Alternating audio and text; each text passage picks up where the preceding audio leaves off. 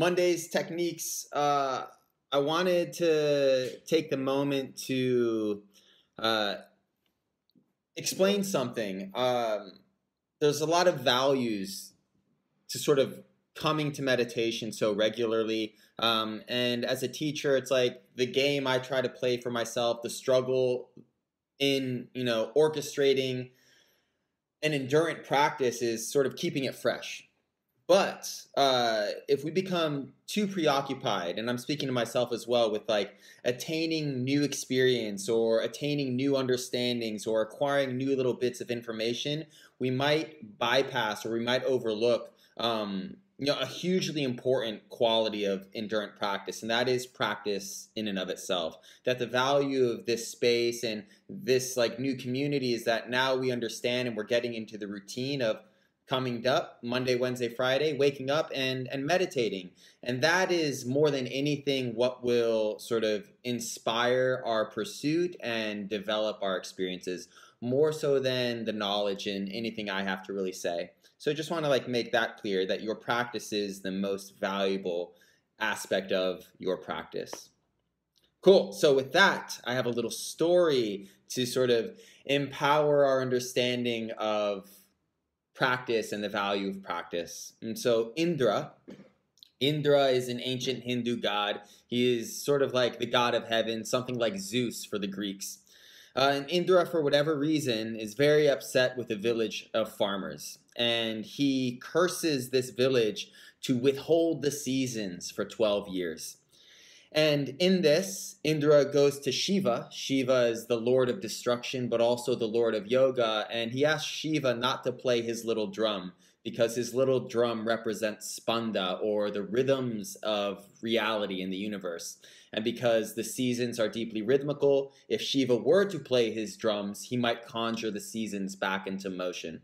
And so Indra asks Shiva. Shiva abides to the god of heaven. Okay, Indra, I will not play my drum for 12 years. And so the villagers now are sort of dealing with this, this catastrophe, and the villagers, knowing that the seasons aren't going to come, stop tending the fields. And because there's no point, right? No rains will come, no crops will grow. What is the point of taking care of these fields that are now barren? But one farmer in the village decides to keep tending the fields despite the fact that no crops will come and the rains will not come either. And the villagers are confused. Why? Why are you taking care of these fields? Uh, and the single farmer answers, Because when the rains do come, when the seasons do return in 12 years, if I have not farmed for 12 years, I will be so far out of practice that I won't be able to take care of my farm once the seasons do return.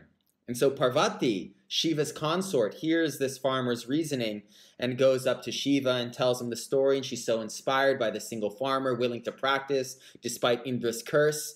And Shiva thinks and he goes, Wait, if I don't practice my drum for 12 years, I'm going to forget how to play my drum. And so he picks up his drum and he starts practicing his drum, and the seasons immediately return. And the farmer that was taking care of his fields uh, sort of reaps the bounty immediately of that return of, of, of the seasons and the return of sort of uh, the rhythms of life. And so the point is, uh, even if there might not be a need to meditate, usually people really flock to meditation when there's this chapter of suffering or chapter of distress or all of this. Um, even if that is not present and there seems to be no need to meditate and your practice hits a plateau, uh, it is still worthwhile to manage your state of mind and keep your focus strong and keep your sensitivity strong because the storm clouds do come and they do come rather spontaneously and sort of out of nowhere. And when we are out of our practice and we've sort of fostered a disconnect with ourselves, uh, we might find ourselves less capable when the chaos arises. And so, this, you know, COVID 19 situation is a perfect example. Uh, but unfortunately, unfortunately, uh, we all have many more personal pandemics waiting for us in the future chapters of our life. And through this practice, I hope you can all feel it at this point. You know, most of you have been doing this for two months around that. Uh, the effects of your meditation should be becoming apparent to you now. Uh, that it does ground you, it does provide a sense of peace that does not seem to be as fragile as as maybe it used to be. And that's because we're developing a relationship to this inner experience. So that's that. It's like practice is valuable because it is in preparation for the storm clouds to come. And I was thinking personally, why do I like to practice? Uh, the greatest storm is arguably death, right? The complete release of the self. And many meditators, many yogis especially, they practice to prime themselves for death. They want to die not just well, uh, but skillfully because they believe there is an opportunity as the sheaths, right, the koshas, which is what we talk about on Wednesdays, as they start to pull away from us, as the body dies, as the energy starts to dwindle in our nerves, as the mind shuts down, as our deeper emotions and intuition start to break down along with the mind, uh, that inner consciousness is sort of the last thing to go out. And as a meditator, if you're familiar with that, because you've been practicing your entire life, you can feel that chain of experience, that shedding of these petals of your former being. Um, and in that, there's just a mystery experience that yogis are really committed to experiencing firsthand. Um, so, at the very least, that's that final moment that might prove uh, motivational to continue practicing throughout your decades. Awesome, cool.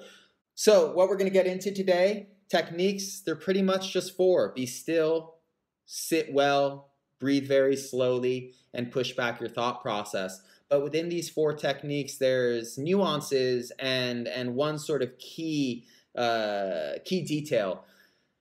Just because you can sit still for 30 minutes does not mean you've learned how to be still. It means you're sort of tolerating it. When you love to be still, that's when you've mastered the first fundamental. And so and that goes for all these four techniques.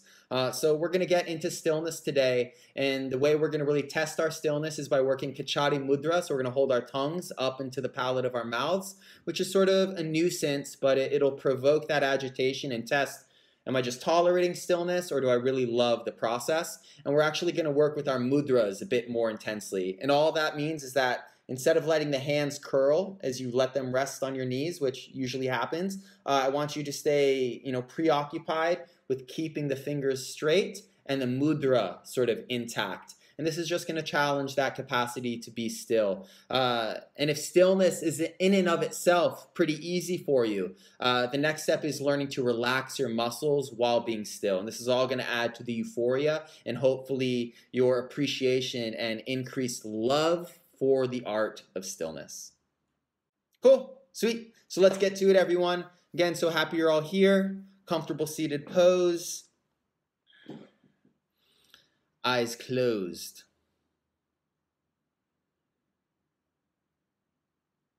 And so right away, build your posture. Hips tilt forward, spine lifts, wrists resting on knees.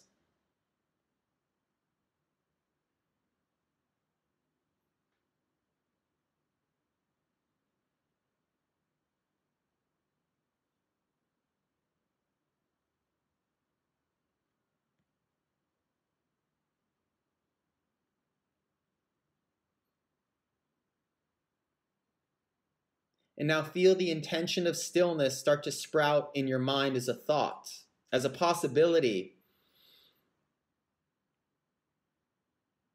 but not necessarily a reality yet.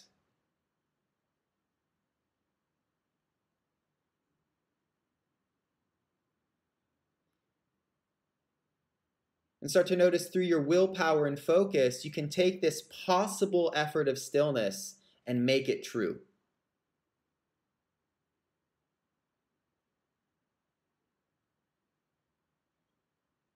And simply said, That's the commitment. I will no longer move.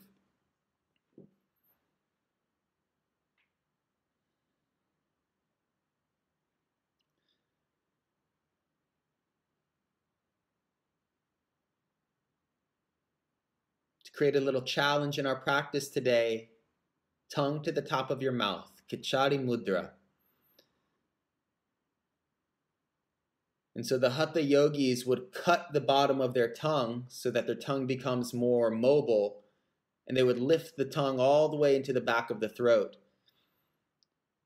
And they believed from that they could clog a little opening from which amrita, right, the nectar of the soul would drop from the skull down into the belly. And as they clogged this opening and kept Amrita in their heads, they slowed down the process of aging and tiptoed towards immortality. Keep the tongue on the mouth. And now design your mudras. Bring a random finger to each thumb, but then straighten the remaining fingers. And notice that within the hands alone, there's this tapestry of tension and stillness. That it takes a little more work to keep the fingers straight. But that work doesn't have to be bothersome. The contractions on the top of the hand don't have to aggravate.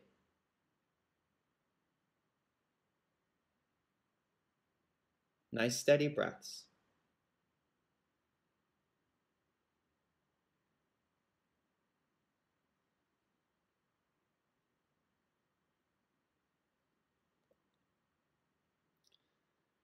So if you find that over the course of your meditation this morning, your tongue has dropped or your fingers have curled, mindfully place the tongue back onto the palate, mindfully straighten the fingers again.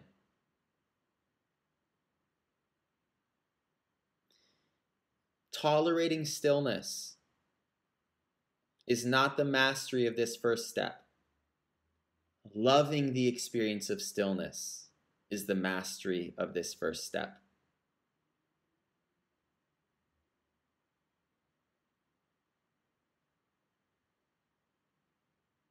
Be proud that you're practicing. It's commendable. I'll chime back in in 10 minutes. Let's all take a deep inhale. Slow exhale.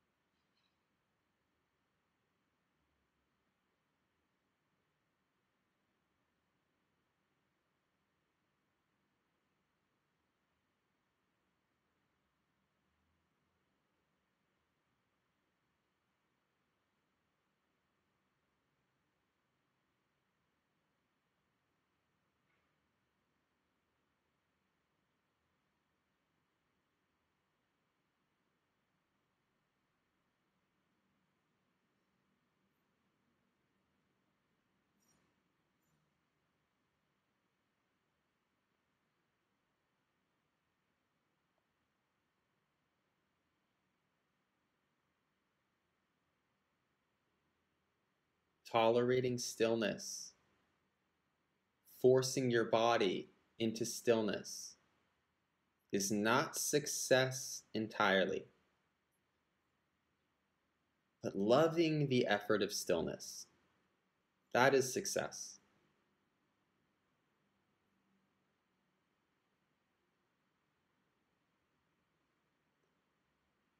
And that love is the consequence of both your nerves and your mind.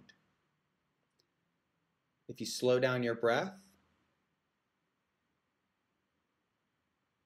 your mind will lean into its appreciation and lean into affinity.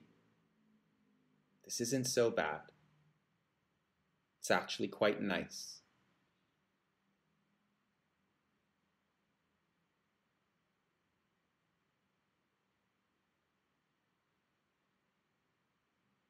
One reason to love the act of stillness is because it's supernatural.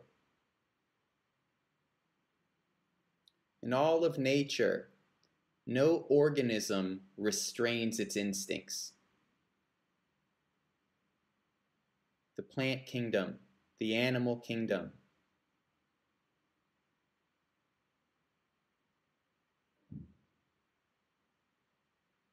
they move through their impulses without doubt without restraint. And so through stillness,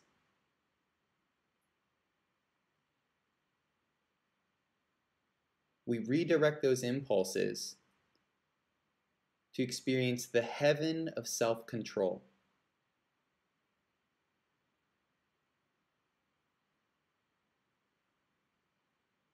And so breathe into that for a moment.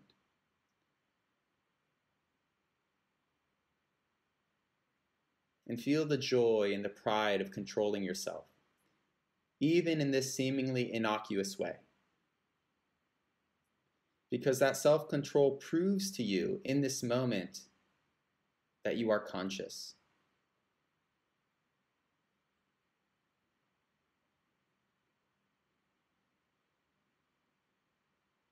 And in that consciousness, that you have power.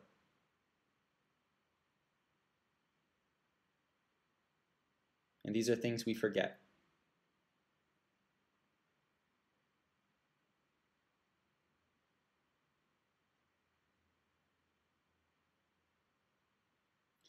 So recommit to the experience of stillness. Feel your stillness. The next step within stillness is to relax your muscles.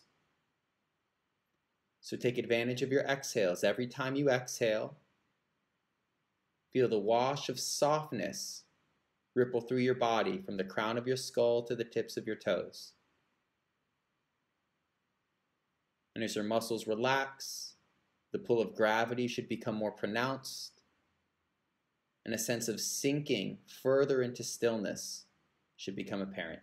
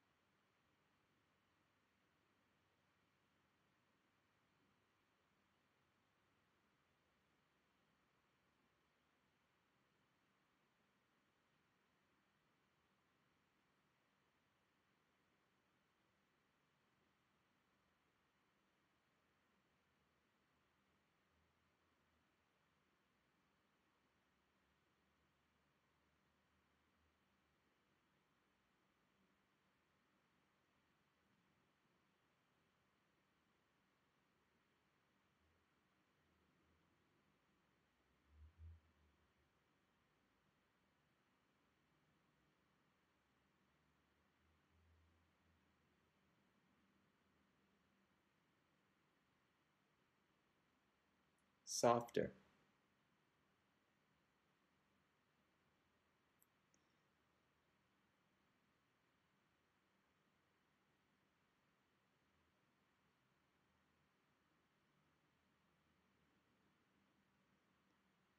As you willfully relax your muscles, the intrinsic euphoria of your body should come to the surface.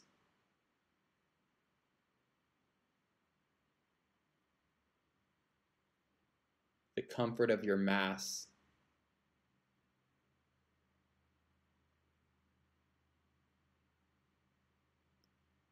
The pleasure of moving blood, tingling nerves.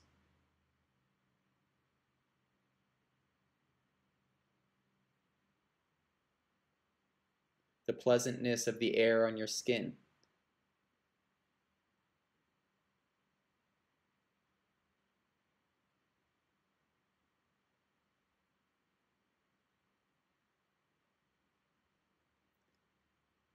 Now, from this centeredness and this stillness, most of all, start to listen outside.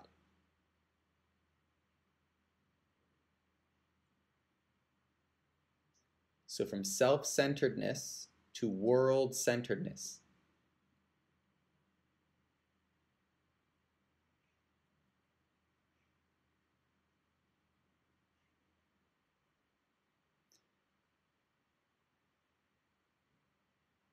And there's evidence that something has changed through your stillness.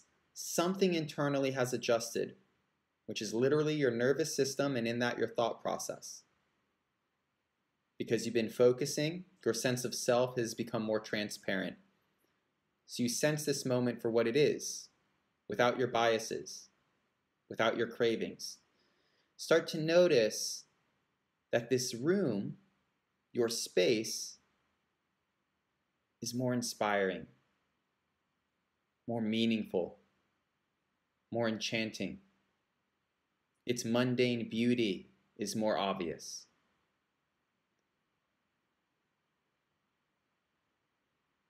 Start to deepen your breath as if as you inhale, you can pull in this moment's beauty.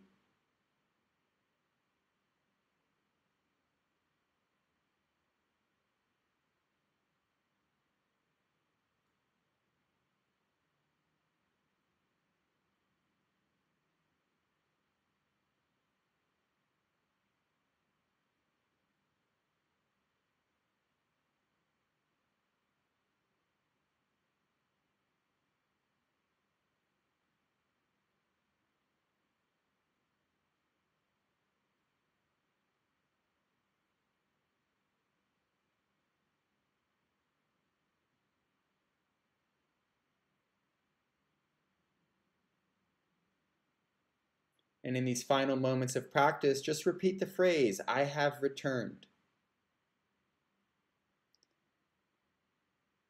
And in that, contextualize your practice as a journey back into centeredness, a journey back into openness and emptiness.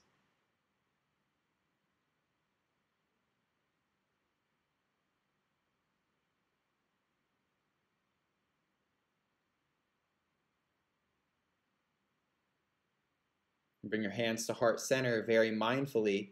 Shoulder blades draw down the spine, perk up your chest slightly.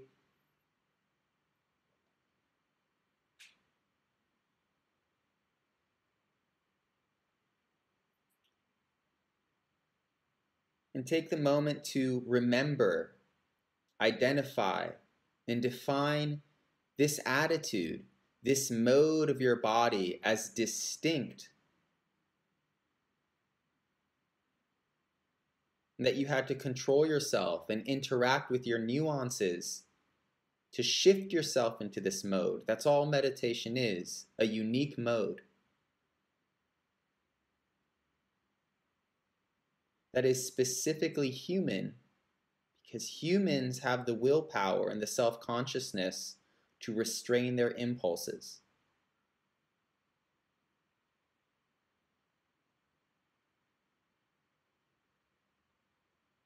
Lift your thumb knuckles to third eye center. Tilt the hips forward again, lift through the chest, boost your power. And let's go back to technique. Focus so much on the pressure between your thumbs and the skin of your forehead that parts of the body blur out, that your environment fades away.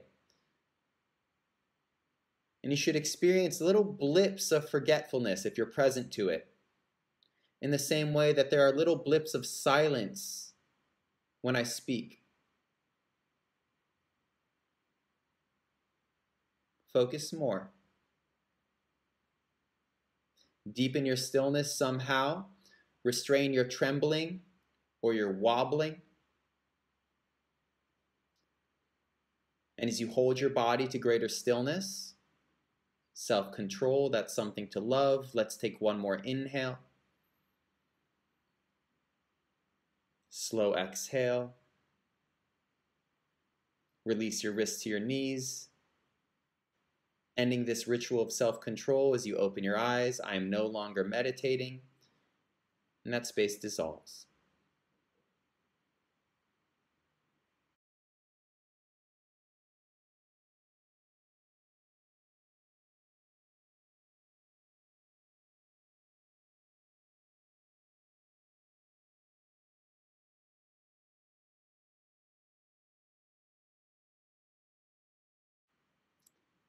Awesome. Good work, everyone. So, just ending with that same little story. Unlike that farmer, we are not in under the curse of Indra, right? So when we practice, it still bears fruit. We still experience a little peace, a, a boost in presence, a capacity to recognize life's aesthetic beauty or meaning or possibility. So we're not in the in the sort of dire situation that that farmer is yet um, it proves difficult to practice day in and day out. Uh, so when we start to love the effort itself, love the stillness, love what it means, love what it represents to us, and that that is all bolstered by uh, sort of educating ourselves and what's happening when we practice, what are the consequences of our practice. I find that it really boosts our willingness to participate uh, um, over time. Uh, so you can conjure that love by just trying to love it. Um, it doesn't have to be as mysterious as maybe you might think. If you just actively try to love your practice while practicing, love will spontaneously emerge. And that in itself is mysterious and really beautiful too.